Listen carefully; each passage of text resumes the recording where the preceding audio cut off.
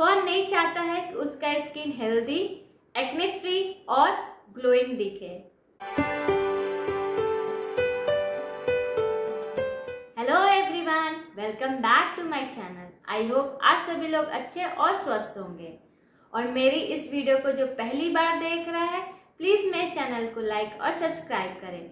और नीचे जो बेल आइकन है, उसको प्रेस करना ना भूलें, ताकि मैं नेक्स्ट टाइम कोई वीडियो आप लोगों से शेयर करूँ आप उसको देखना ना भूलें। तो चलिए, इसी के साथ मैं आज का वीडियो स्टार्ट करती हूँ।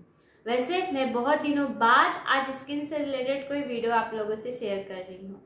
एक्चुअली कुछ दिनों से मुझे टाइम नहीं मिल रहा था कि कोई रेमेडीज आप लोगों से शेयर करूँ।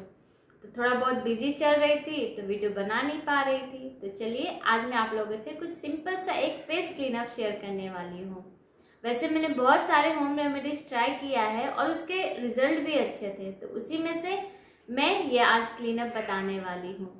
तो चलिए, उसके लिए आपको क्या क्या इंग्रेडिएंट चाहिए और उसको कैसे करना है, चलिए बताती हूँ। सबसे पहले आपको क्या करना है, आपको फेस को क्लीन करना है।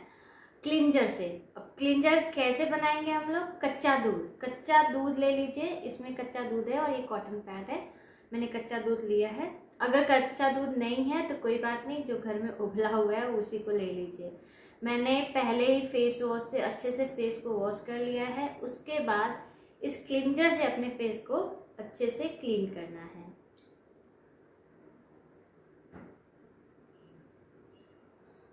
ये देखिए, मैंने दूध लिया है। कैमरे में दिख नहीं रहा अच्छे से।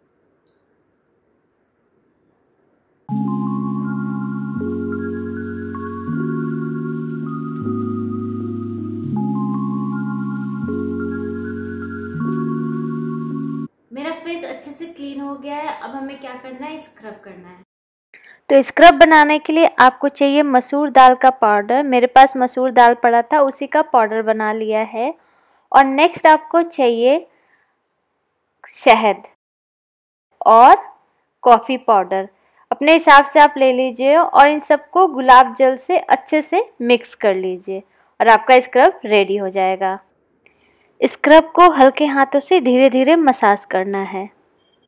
कॉफ़ी की बहुत ही अच्छी खुशबू आ रही है। ध्यान रखिएगा, इसको ज़्यादा रगड़ना नहीं है। बिल्कुल हल्के हाथ से इसको मसाज करना है और एकदम रगड़ रगड़ के ये नहीं कि अपने स्किन को एक बिल्कुल रेड कर दे या स्किन को बाहर ही निकाल दे। तो दो तीन मिनट मसाज करिए, उसके बाद नॉर्मल पानी से वॉश कर लीजिए।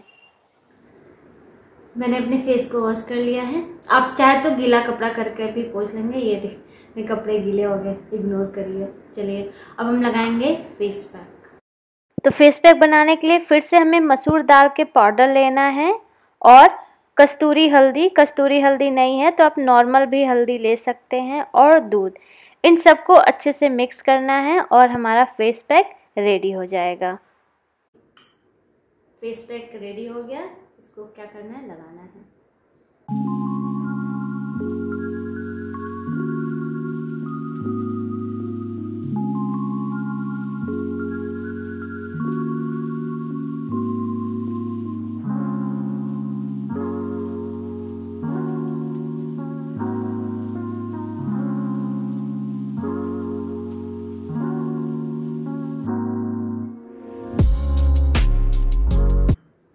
अच्छे से मेरा फेस और नेक एरिया में लग गया है। इसको 20 मिनट तक रखना है, फिर नॉर्मल पानी से वॉश कर लेना है। तो इस फेस क्लीनअप को आप ज़रूर ट्राई करिएगा। तब तक के लिए बाय बाय टेक केयर और हाँ अगली बार मैं फिर से कोई अच्छा और बढ़िया वाला होम रेमेडीज लेके आऊँगी। तब तक के लिए बाय बाय